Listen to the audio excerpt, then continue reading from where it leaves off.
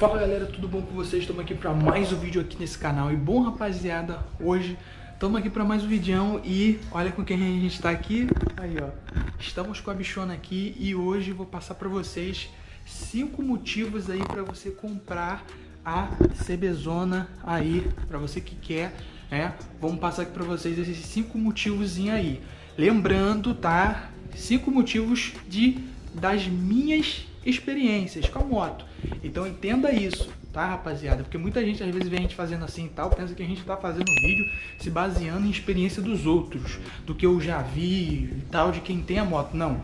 É cinco motivos aí de experiências que eu já tive com a moto e vou passar para vocês aqui no canal, entendeu? Então cinco motivozinho aí para você comprar ela, se você quer comprar e tal, enfim. Vamos lá, rapaziada, vou passar aqui para vocês e bem, bora.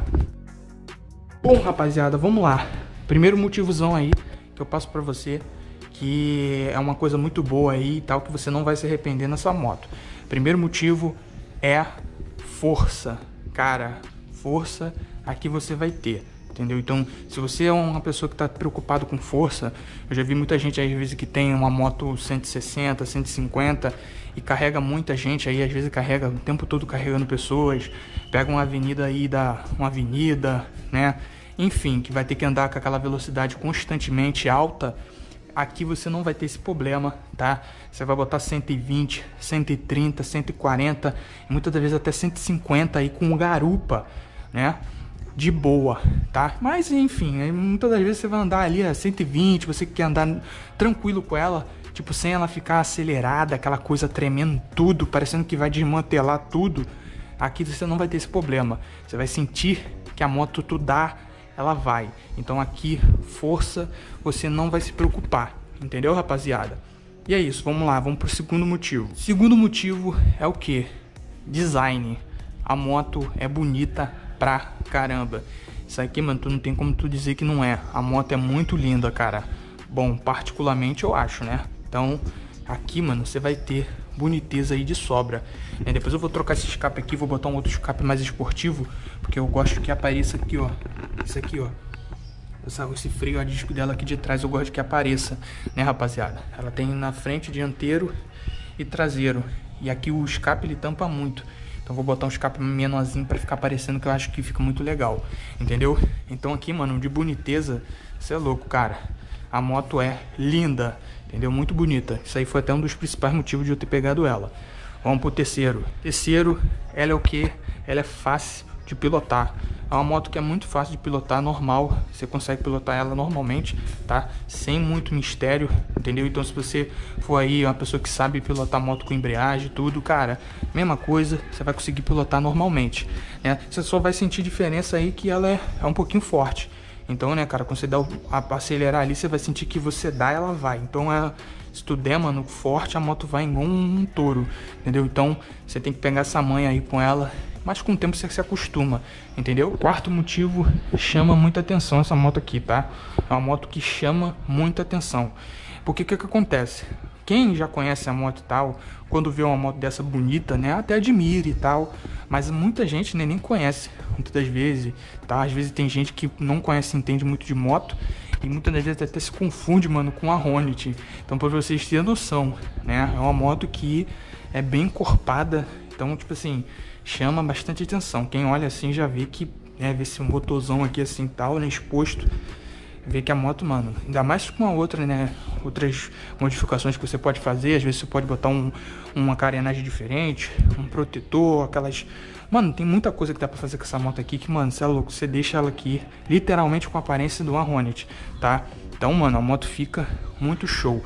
Né? Bota um eliminadorzinho de rabeta, aqui na frente dá pra tu colocar o um negócio da CB1000, no tanque.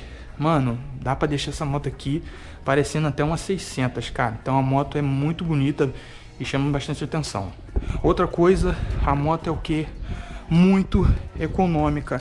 Então aqui, mano, tu vai ter economia, tá? Porque a moto é muito econômica. Pra vocês terem noção aí, é... Mano, ela aqui comigo, eu fiz um litro. Acho que foi 28 km com um litro. Só pra vocês terem noção como que a moto é econômica e mesmo assim ainda sobrou combustível. Entendeu? Para vocês terem noção, a moto é muito econômica. Pro porte dela é muito econômica. Como vocês sabem que a gente dirige muito carro, então eu sempre tô dirigindo um carro e tal, então, cara, para mim foi uma mudança tremenda. É claro que um cara que tem, sei lá, uma 160, uma 150, ele, né, para ele não faz tanta diferença isso, porque uma 160 geralmente é mais econômica ainda. Mas um cara que anda de carro o tempo todo, mano, igual eu, cara, pra mim aqui, economia foi nota 10. Outra coisa, ela é bem esportiva, né? Então vocês podem ver, ó, a aparência dela é bem esportiva para quem gosta de moto assim. Né? Então, tipo assim, muitas das vezes você, sei lá, cara, tem a vontade de pegar uma moto assim, né? Não quer gastar tanto. Às vezes não tem dinheiro para pegar uma moto zero, né? Uma moto forte, zero. Cara, aqui você vai ter, né? Uma motinha forte, né? E, cara, você é louco, aqui tu não vai ter arrependimento, né? Porque a moto é totalmente esportiva. E outra aqui também, rapaziada, se pegar ela com a intuição de é, reformar, de invertir na moto, você não vai ter problema nenhum, tá? Então, cara, se você tiver com essa cabeça, por exemplo, igual a mim, né? Vocês sabem que a gente tem um carro e tal, mas é, quando eu peguei, eu peguei ela por conta né, que eu tinha vontade de tudo, já, já era um sonho de ter essa moto, peguei ela para poder invertir. Então, tipo assim, para mim, eu sei que todas as coisas aqui eu, pre eu pretendo investir. Até ali na parte do motor, né, eu pretendo colocar mais para frente cabeçote da XRE 2022. cara, eu pretendo fazer muita coisa, né? Porque muita gente, né, que eu conheço que tem a moto que colocou o cabeçote da XR 2022 fala que a moto ficou, mano, mais forte do que o normal, entendeu? Ficou uma coisa, você é louco, desproporcional e a moto ficou perfeita, top. Então, tipo assim, se você pegar essa moto para investir, ah, eu quero trocar uma carenagem, botar uma carenagem da nova, quero fazer um, um, projeto com ela, mudando isso, aquilo e tal, quero deixar ela no meu jeitinho. Cara, a moto tem muita coisa que dá pra mudar, mano, e deixar ela muito top, cara, de verdade. E basicamente é isso, cara. Até o momento aí, muitos pontos positivos. Falando um pouquinho aqui, que aqui tá bem calor, rapaziada. Aqui no Rio de Janeiro tá brabo, mano. Calorzinho aqui. O tempozinho, ó, tá nublado e, mano, eu tô suando aqui, tá brabo. Quem aí, né, tá passando por isso sabe o que eu tô falando. Lembrando aqui que eu vou passar uns vídeos também, tá? Dando os pontos negativos, tá? Que das minhas experiências com ela. Então, lembrando, todos esses pontos que eu tô falando aqui é de, da minha experiência no momento. Não tô passando aqui experiência de ninguém que eu vi, que fulano... Não. Aqui é minha experiência.